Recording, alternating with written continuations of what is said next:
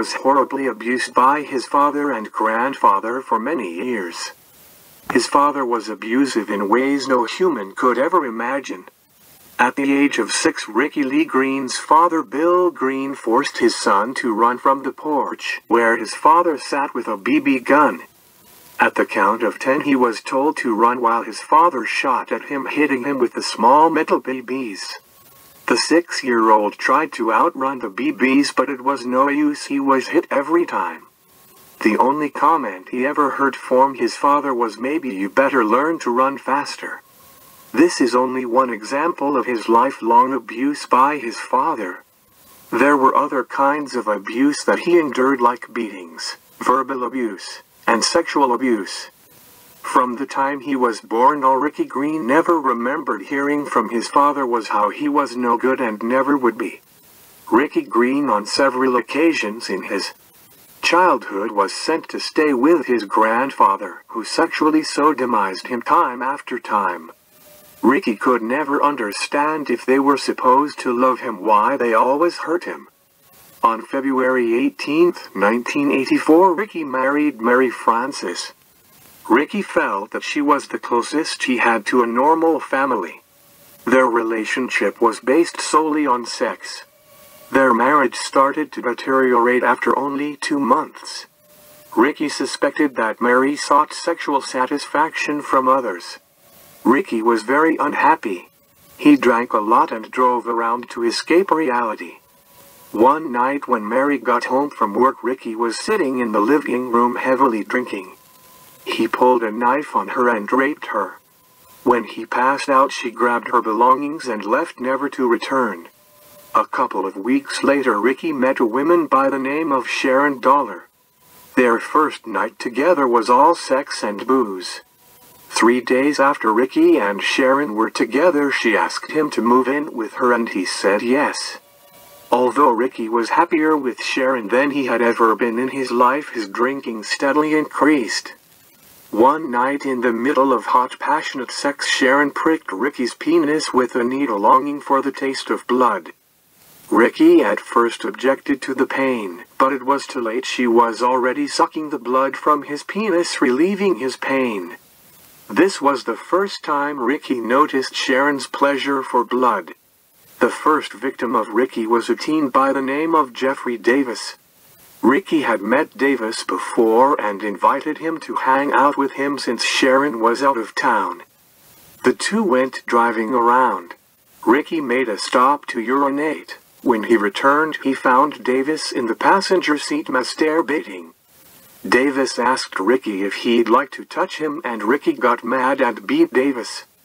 They continued to drive around and the more Davis complained the more Ricky beat him until finally Ricky pulled over to a secluded area and dragged Davis out of the car beating him and mutilating Davis with a knife.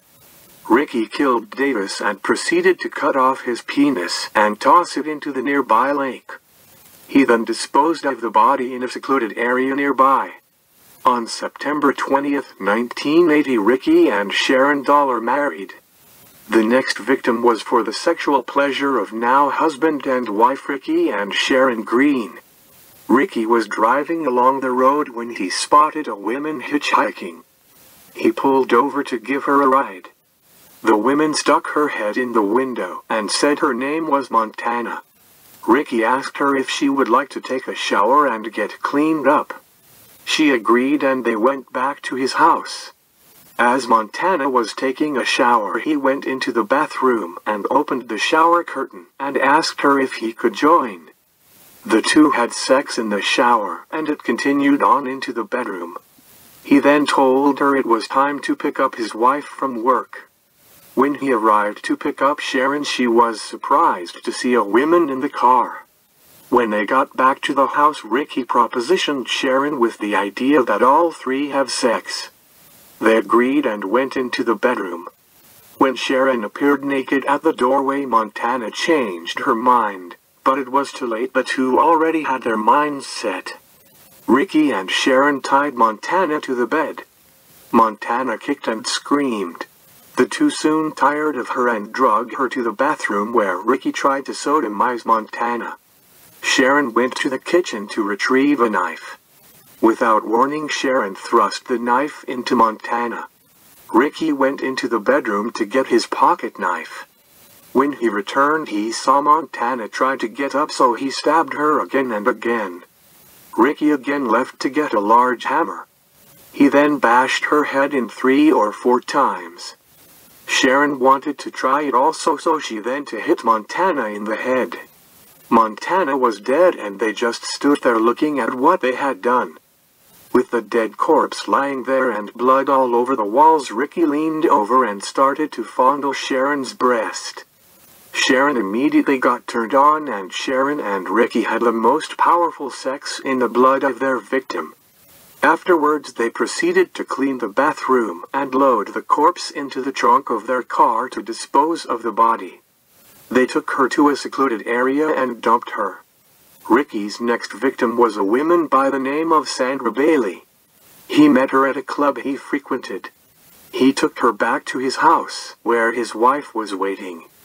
When Sandra saw Ricky's wife she wanted to go home. The two tied her up and proceeded to carry out the same scenario they did with Montana. The only thought the two had afterwards was that the sex was not as powerful as it was the first time. They took the body and disposed of it in the same fashion they did Montana. Ricky's final victim was a man by the name of Stephen Pfefferman. Ricky met Pfefferman in a parking lot frequented by homosexuals. Ricky agreed to go back to Stephen's home with him. When they arrived Stephen started to fondle Ricky in the living room. Stephen excused himself to take a shower. When he returned he found Ricky in the bedroom. Ricky asked Stephen if he could tie him up and each would take a turn at being tied up. After Ricky tied up Stephen he pulled out a knife and started to tell Stephen that he hated homosexuals. He then proceeded to stab him with the knife again and again. Stephen was still alive after the stabbings, and Ricky went into the kitchen and got a kitchen knife and stabbed Stephen in his throat all the time repeating that he hated homosexuals. He then proceeded to cut open Stephen from sternum to scrotum. Stephen was still alive gasping for air. Ricky's last horrific blow came when he cut off Stephen's penis and shoved it into his mouth to quit his moans. Ricky then riffled through Stephen's things taking some money and fleeing the scene. Ricky returned home and told his wife what he had done. She quieted him and told him everything was going to be okay. Their marriage seemed to go downhill following the murders. The both of them drank heavily and started using drugs. A few years later Sharon packed her things and left. Ricky never heard from Sharon much after she left. One night Ricky's house was surrounded by police and he was arrested for capital murder for the death of Stephen Pfefferman. Ricky knew the day would come but he never knew it would be at the hands of Sharon the wife he loved. Ricky was sentenced to death by lethal injection for the murder of Stephen Pfefferman. He got three life sentences, one for each murder. Sharon Green only got 10 years probation for her part in the crimes. Love is a feeling no one can describe but is love worth all this? After Green was sentenced for the murder of Pfefferman, he was tried for two other murders, and given life sentences for each. Green was suspected in at least 12 other murder cases throughout the state of Texas. He left his mark all over the state.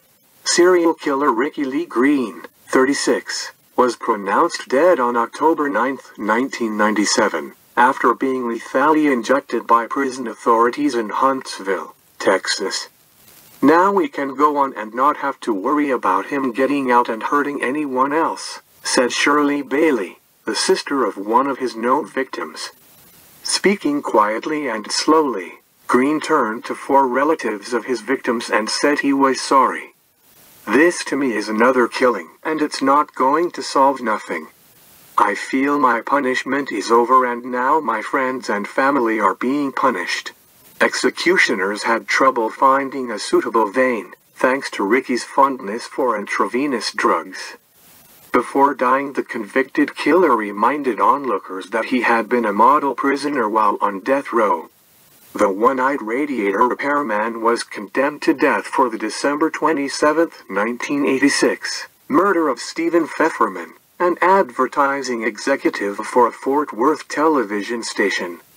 Pfefferman, 28, was castrated and repeatedly stabbed with a butcher knife at his home after having sex with Green.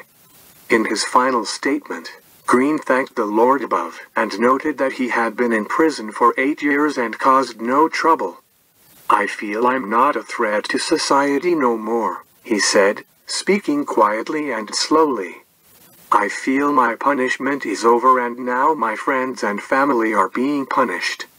Turning to four relatives of his victims, who watched through a window a few feet away, Green said he was really sorry. But this to me is another killing, and it's not going to solve nothing. As the lethal solution took effect, he gasped several times before he stopped breathing. Only one needle was used on Mr. Green instead of the customary two. Prison officials were unable to locate a suitable vein in the left arm of the longtime drug user. Thank you for watching Death Row.